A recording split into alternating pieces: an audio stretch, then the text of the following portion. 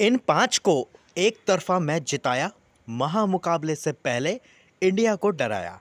तो पाकिस्तान ने जो है, एशिया कप की जो शुरुआत के जो ओपनिंग मैच था, नेपाल के साथ, उन्होंने जो है 238 रन के बड़ी जीत के साथ जो है इस टूर्नामेंट में जो है वो जीत से शुरुआत करी है। पहले पाकिस्तान ने जो है तीन सौ बयालीस रन बनाए अपने छः विकेट में, जिसमें कप्तान ने जो है कप्तानी बारी खेली, बाबर आज़म ने जो है शानदार एक सौ इक्यावन रन की पारी खेली 131 गेंदों पे और अहमद ने जो है उनका सेहत दिया 109 रन बनाए इकहत्तर गेंदों पे।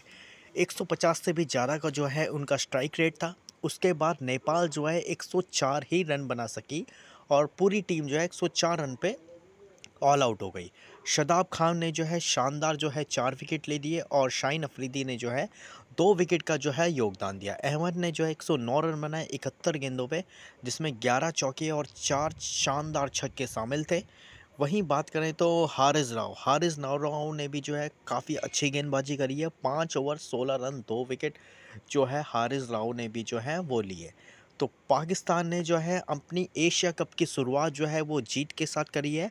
अब पाकिस्तान जो है दो तारीख को जो है भारत और पाकिस्तान के बड़े मैच के लिए जो है देखते हैं कुछ ऐसी प्रदर्शन आता है बाबर आज़म का या नहीं।